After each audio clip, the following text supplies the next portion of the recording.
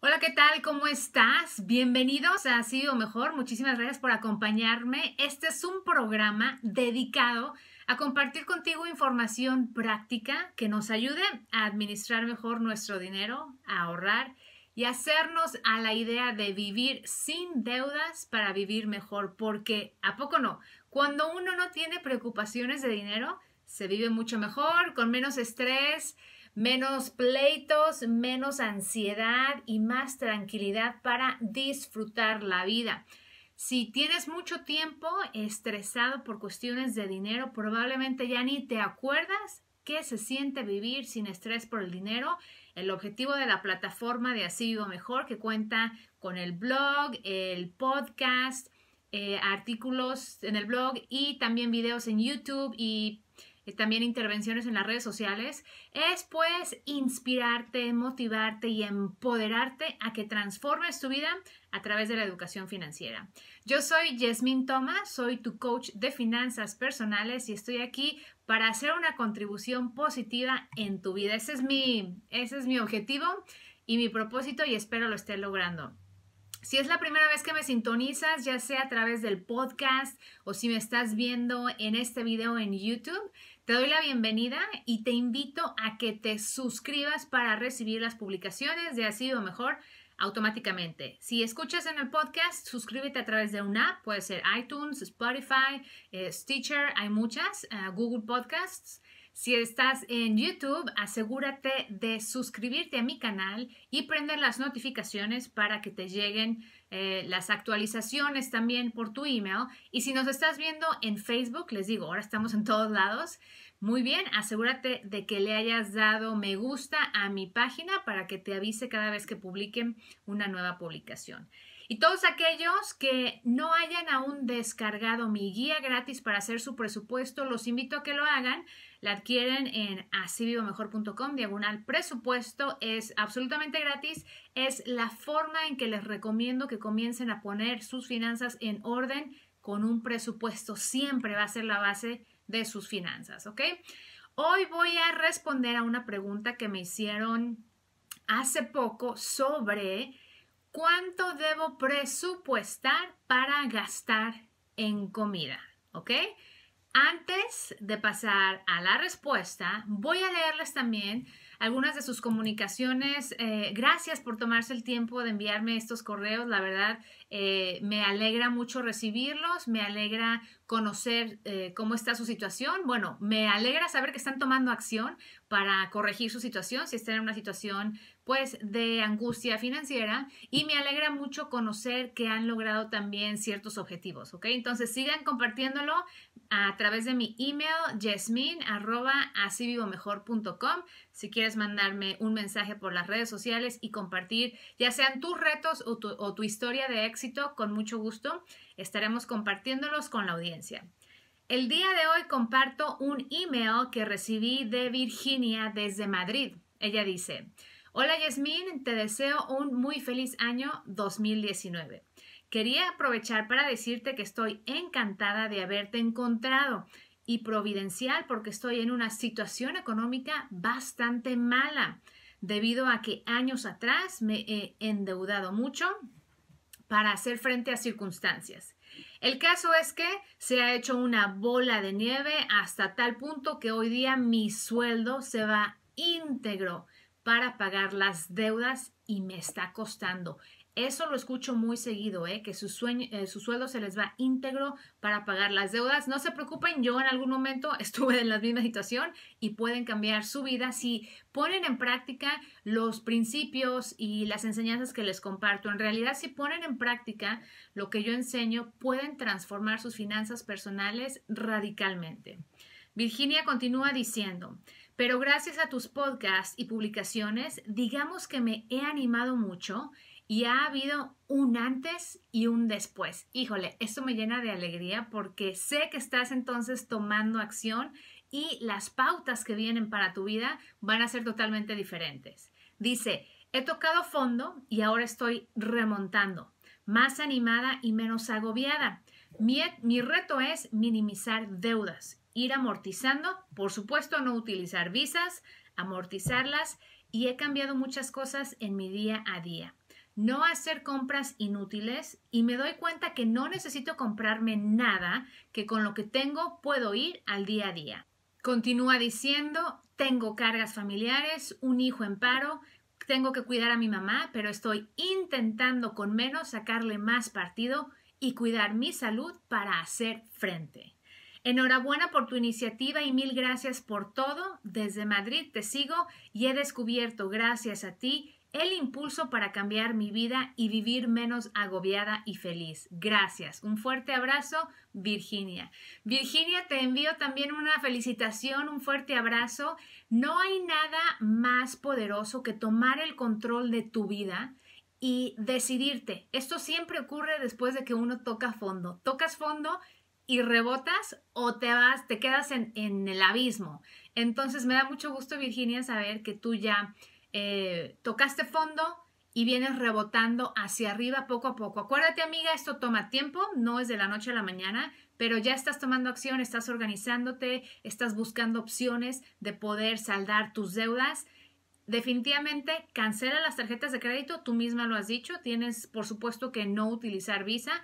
Por favor, escúchenme todos, mientras ustedes utilicen la tarjeta de crédito o las tarjetas de crédito para financiar su vida, su presupuesto va a ser muy difícil de mantenerse en regla. ¿Por qué? Porque cuando uno gasta con plástico, número uno, gasta más y número dos, el cobro te llega al próximo mes y nadie tiene la disciplina de separar el día de hoy lo que ya se gastó en la tarjeta de crédito. Entonces, mi recomendación es que despídanse de las tarjetas de crédito, no las necesitan, es un mito que tienen que tener una tarjeta de crédito.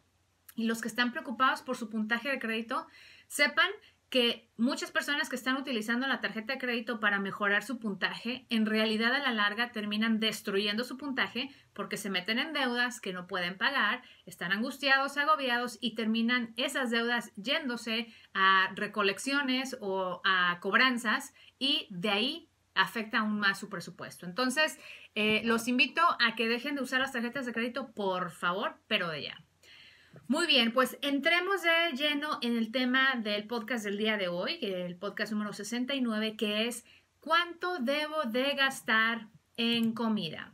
Si ustedes recuerdan, en el episodio número 24 de Así Mejor, que por cierto es uno de los episodios más populares y uno de los artículos en el blog más populares, si no lo han escuchado, los invito a que lo hagan, asibiomejor.com, diagonal presupuesto.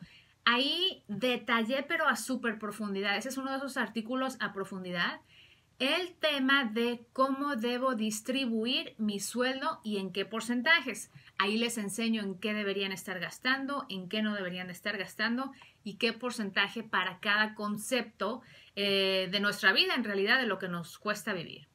Pues bueno, ahí pueden ustedes encontrar también una infografía que les da eh, representación visual de qué tanto porcentaje de su sueldo deberían gastar en qué. Por ejemplo, cuánto en ahorros, cuánto en vivienda, cuánto en agua, comida, transportación, etcétera. Les recomiendo muchísimo que se lean ese capítulo uh, otra vez o que lo escuchen otra vez porque está súper informativo. Pero en sí, como pueden ver, mi recomendación es, y esta no es una respuesta universal y ahorita la vamos a desglosar, ¿ok? La recomendación de lo que debes gastar en comida es el equivalente entre al 5 y el 15% de tu sueldo, ¿ok? Este es un número ah, con un rango flexible y esto depende de cada persona. ¿Por qué? La persona que me hizo esta pregunta me dijo, mira, yo soy mamá soltera, yo trabajo todo el día y tengo un niño. Yo cuando llego a la casa, lo último que quiero es ponerme a cocinar. Mi pregunta es, ¿gasto mucho en comida rápida? ¿Cuánto está bien gastar en comida, en comer fuera? Y pues es que es una pregunta no muy sencilla, de hecho es una pregunta muy difícil de responder con un número o un porcentaje exacto porque todo depende de tus objetivos y todo depende en dónde te encuentres tú en tu trayecto hacia la independencia financiera. Si tú estás gastando mes por mes dinero en comida rápida, ah, quizás estás gastando de más, quizás tienes deudas, quizás tu salud no es la mejor, ah, gastar dinero en comida rápida o en comer en la calle todos los días no es la mejor inversión de tu dinero. Entonces, por aquí, en vez de darte un número fijo y decirte gasta entre el 5 y 15% de tu sueldo, que eso es, es el escenario ideal para las personas que no tienen deudas. La cuestión es, bueno, ¿cuál es tu situación y cuáles son tus objetivos? Si tú tienes deudas, mi recomendación es, no deberías estar gastando dinero para comer en restaurantes cuando tienes deudas. ¿Por qué? Porque por algo tienes las deudas. Cuando en mi hogar tuvimos que hacer recortes de gastos, lo primero que vimos es que estábamos gastando, esto fue cuando la recesión de 2008, cuando mi esposo se quedó sin trabajo, estábamos gastando al mes 300 dólares saliendo a comer a restaurantes. 300 dólares por dos adultos porque los niños eran bebés y con unas papitas a la francesa se entretenían y sobraba. Entonces, Estábamos gastando mi esposo y yo, y yo 300 dólares al mes en comidas en la calle. Y para mí era súper difícil cortar eso porque yo decía, es que esa es nuestra salida. ¿Qué más vamos a hacer el fin de semana? Es lo que hacemos, salir a comer, ¿no? Cuando en realidad yo estoy viendo que estamos en números rojos y que cómo vamos a gastar dinero en ir a restaurantes si no está entrando suficiente dinero, dices, por supuesto que lo vamos a cortar, pero de entrada fue para mí, para mí muy difícil decir no porque esas eran nuestras salidas. Entonces, ¿qué tocó? Ingeniárnoslas para hacer otro tipo de salidas que no generaran un gasto. Si tú tienes deudas ahorita y me dices que gastas entre 300, 500 dólares, no sé, 10 mil pesos, 5 mil pesos, qué sé yo, en salir a comer a la calle, te puedo decir que necesitas aunque sea de forma medida temporal, eh, analizar tus prioridades.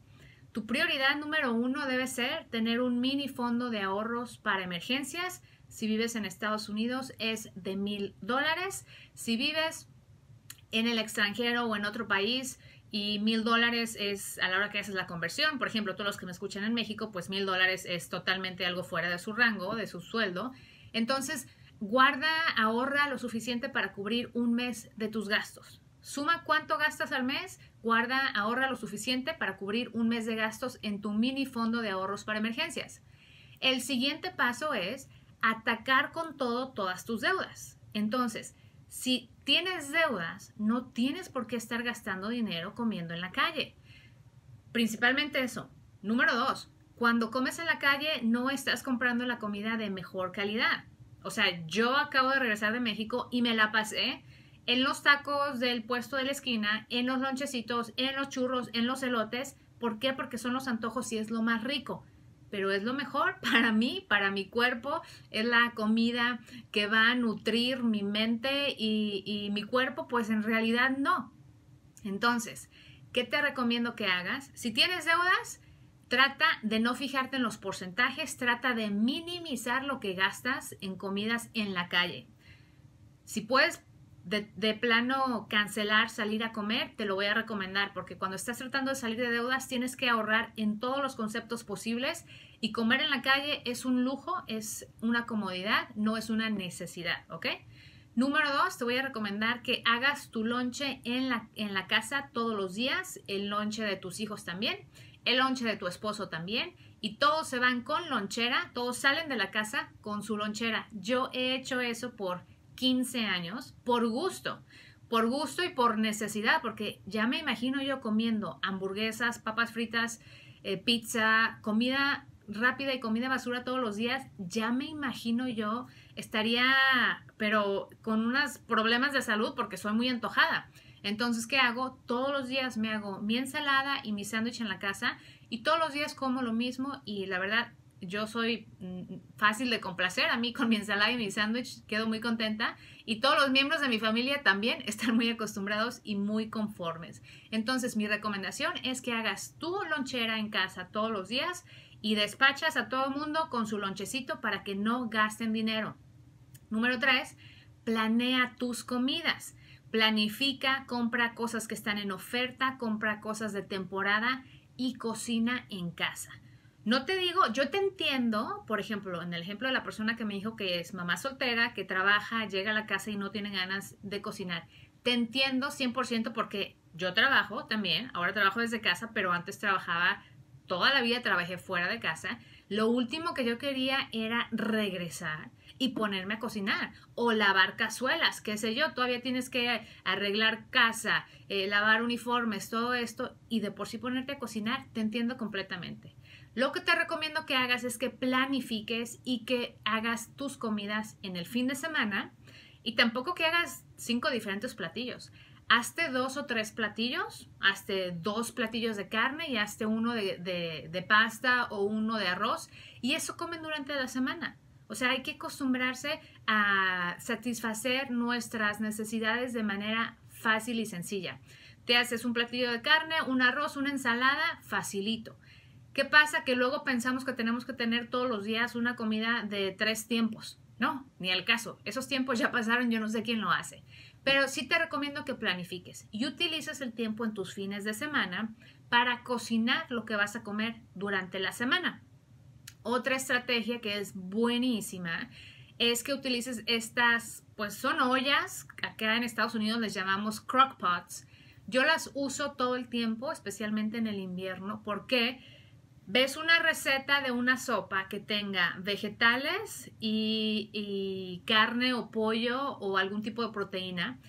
Pones todos los ingredientes en la mañana adentro de tu crock pot y lo pones a cocinar a pues no es fuego, pero digamos a fuego lento, pero es a calor lento, digamos, y te vas al trabajo. Y tú llegas a casa y esa sopa es deliciosa y está lista para servirla. Entonces, hay que ah, ponernos creativas y sacar diferentes formas de facilitarnos la vida, hacernos las cosas más fáciles con menos trabajo. Si tienes deudas, entonces, mi recomendación es que trates de comer fuera lo menos posible para que uses ese dinero para pagar tus deudas, ¿ok? No puedes estar dándote el lujo de salir todos los días a restaurantes cuando estás arrastrando la deuda. Cuando tú compras o pagas la comida en los restaurantes con tarjeta de crédito, sabiendo que no tienes para pagar el saldo completo de la tarjeta de crédito, estás añadiéndole eh, al problema, ¿ok? Entonces, ¿qué hacemos? Cocinamos en casa, preparamos almuerzo en casa y no gastamos en comidas en la calle. Esos son lujos, ¿ok? Ahora, en el escenario en el que tú ya no tienes deudas, tu economía familiar es más saludable y ya tienes tu fondo de ahorro o estás trabajando en tu fondo de ahorros. Perfecto, excelente. Lo que vas a hacer en ese caso, vas a tener un rango de 5 a 15%, que es mi recomendación que gastes en comida de tu sueldo mensual. Entonces, digamos que quieres repartir, puedes repartir ese 15 o 5 a 15% entre las visitas al supermercado y las visitas al mercado, o puedes usar una porción para las comidas en la calle. También las comidas en la calle, depende de tu presupuesto, depende de tus ingresos, depende de tus objetivos. Las comidas en la calle las puedes ah, acomodar adentro de tu presupuesto de entretenimiento. ¿Ok? Recuerda, si estás trabajando en pagar deudas, el presupuesto de entretenimiento pues tiene que ser módico. No digo que no hagas nada, pero trata de no hacer cosas que generen mucho gasto. Nosotros, por ejemplo, cuando hubo la necesidad de recortar el presupuesto de entretenimiento, nos íbamos al cine de a dólar que mostraba las películas que habían estado en cartelera hace seis meses y nos íbamos al parque y traíamos nuestros snacks, nuestros sándwiches para hacer nuestro eh, picnic, ¿no? Y los niños estaban chiquitos, o sea que ellos ni enterados. En la película, pues ya sabes, uno siempre puede traer ahí su snack, sus dulces o lo que sea.